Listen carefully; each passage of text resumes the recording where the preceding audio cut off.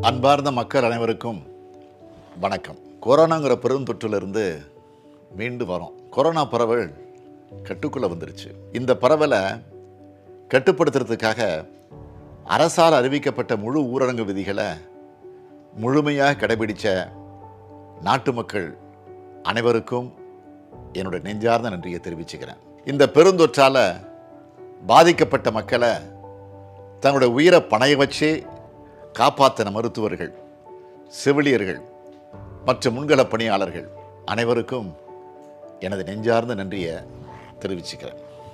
நாள் ஒன்றுக்கு முப்பத்தி ஆறாயிரத்தை தொட்ட தொற்று பாதிப்பானது இப்போ நாலாயிரத்துக்கும் கீழே குறைஞ்சிட்டு வருது. முழு ஊரடங்கு மருத்துவர்களின் அர்ப்பணிப்பு மாநிலத்தின் மருத்துவ கட்டமைப்பு துடிப்பான நிர்வாகம். ஆகிய நான்கின் காரணமாகவும் தான் இந்த அளவுக்கு நாம் வெற்றியை பெற முடிஞ்சிச்சு. இன்றைய தகவல்களின் அடிப்படையில் ஏராளமான படுக்கைகள் தயார் நிலையில் இருக்குது ஆக்சிஜன் படுக்கைகளாக இருந்தாலும் தீவிர சிகிச்சை பிரிவு படுக்கைகளாக இருந்தாலும் ஏராளமாக இருக்குது எந்த அலையையும் தாங்குகிற வல்லமை இந்த அரசுக்கு உண்டு. அந்த நம்பிக்கை தமிழ்நாட்டு மக்களுக்கும் உண்டுங்கிறத நானும் அறிவேன். நான் இப்போ நாட்டு மக்கள்கிட்ட சொல்ல விரும்புகிறது ஒன்றே ஒன்று தான் கொரோனாவை கட்டுப்படுத்திட்டோம்னு சொல்லலாமே தவிர முழுமையாக ஒழிச்சிட்டோம்னு சொல்ல முடியாது. எனவே மக்கள் யாரும் அலட்சியமாக இருந்துடக்கூடாது. தலைவர்களை அறிவிச்சிட்டாங்க. அதனால் நம்ம எந்த விதிமுறைகளையும் பின்பற்ற தேவையில்லைன்னு யாரும் நினைக்கக்கூடாது. இன்னமும் பள்ளி கல்லூரிகள் திறக்கப்படலை. அரசியல் மற்றும் சமுதாய விழாக்கள் அனுமதிக்கப்படலை. திரையரங்குகளை திறக்கலை. பூங்காக்கள் திறக்கலை. ஏன்னு கேட்டால் இவை எல்லாமே மக்கள் அதிகமாக கூடுற இடங்கள். இப்படி திறக்காமல் இருக்கோம்னா ஏனுங்கிற காரணத்தை உணர்ந்து மக்கள் எச்சரிக்கை உணர்வோடு இருக்கணும். உணவகம் கடைகள் மற்றும் முக்கிய சேவைகள்.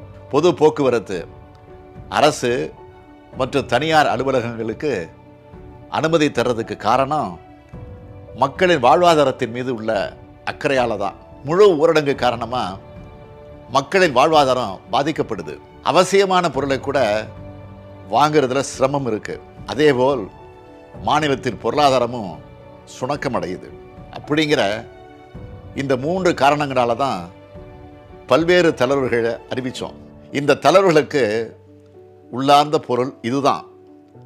அதனை தமிழ்நாட்டு மக்கள் அனைவரும் புரிஞ்சுக்கணும். கொரோனாவை வெல்றதுக்கு தடுப்பூசி தான் மிகப்பெரிய ஆயுதமும் கேடயமும் ஆகும்.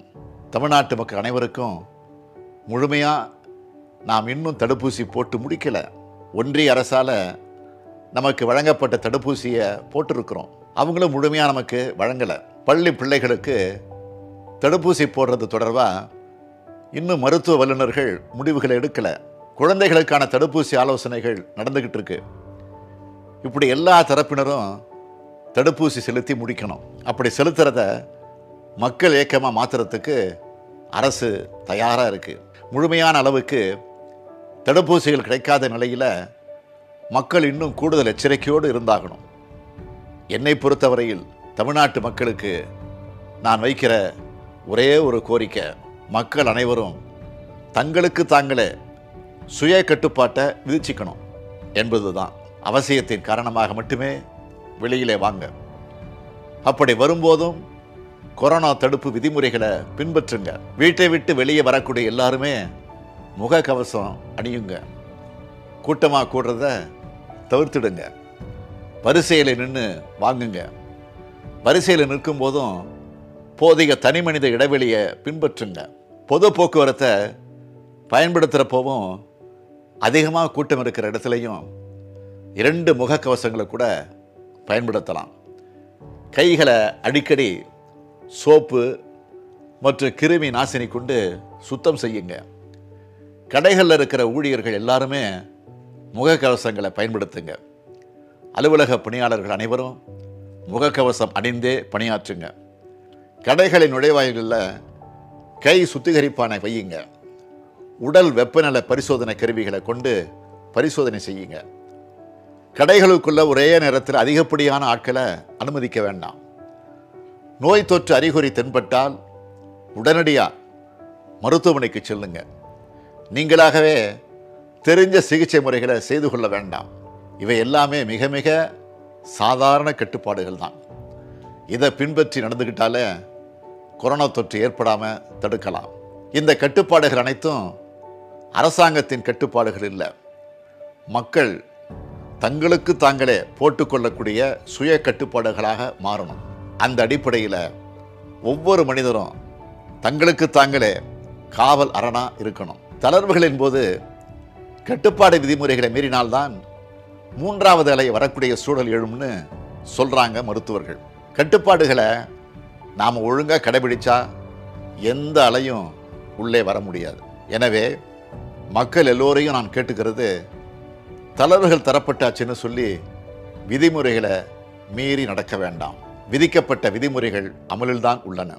விதிமுறைகளை பின்பற்றி நம்முடைய மதியால் கொரோனாவை வெல்வோம். நம்மையும் காப்போம். நாட்டையும் காப்போம்.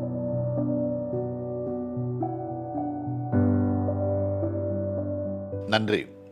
வணக்கம்.